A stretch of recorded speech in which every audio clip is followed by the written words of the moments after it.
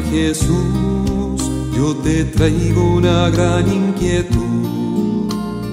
¿Qué debo hacer? Nuestro mundo sufre esclavitud.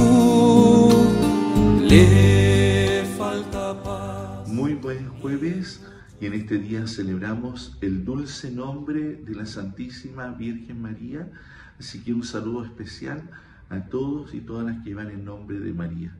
El Evangelio está tomado en San Lucas en el capítulo 1, versículo 39 al 45. María a partir fue sin demora a un pueblo de la montaña de Judá y entró en casa de Zacarías y saludó a Isabel. Apenas éste escuchó el saludo de María, el niño saltó de alegría en su vientre e Isabel llena del Espíritu Santo exclamó, Tú eres bendita entre todas las mujeres y bendito es el fruto de tu vientre. ¿Quién soy yo para que venga a visitarme la madre de mi Señor? En cuanto oí tu saludo, el niño saltó de alegría en mi vientre. Feliz de ti porque has creído que se cumplirá lo que te fue anunciado de parte del Señor. Palabra de Dios. Hoy día escuchamos este Evangelio de la visitación al celebrar el dulce nombre de María. Después del nombre de Jesús, como dice la oración colecta de este día, el nombre de María es un nombre que invocamos para que nos auxilie, para que nos acompañe. Invocar a la Santísima Virgen es invocarla aquella que se abrió al misterio de Dios, que creyó, como lo dice Isabel hoy en el Evangelio, feliz de ti porque has creído esta bienaventuranza que hace Isabel en torno a María y que nos invita también hoy día a confiar en la misericordia de Dios.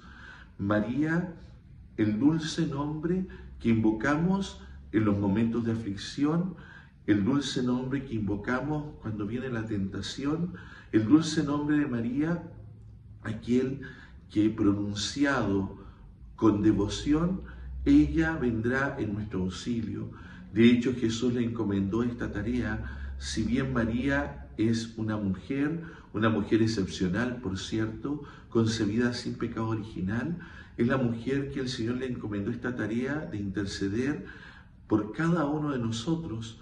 La vemos intercediendo en las bodas de Caná, la vemos elevando su plegaria a Jesús, no tienen vino, y eso hace la Santísima Virgen.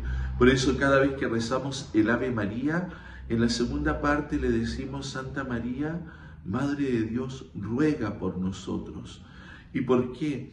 Porque confiamos que la intercesión de la madre hacia el hijo es una intercesión poderosa. Jesús es aquel que obra los milagros en la vida, enviado por el Padre hacia nosotros.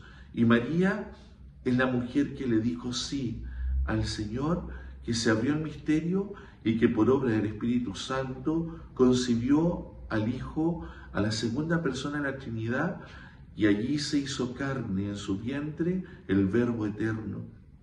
Hoy día es María que nos vuelve a invitar a confiar en Dios, a confiar en su palabra, porque ella vivió en esta alegría de saber que Dios siempre cumple su promesa. Invoquémosla con confianza, pidámosle su auxilio en nuestra tierna Madre que nos acompaña en nuestro peregrinar. Que tengan un feliz día. Sembrar más amor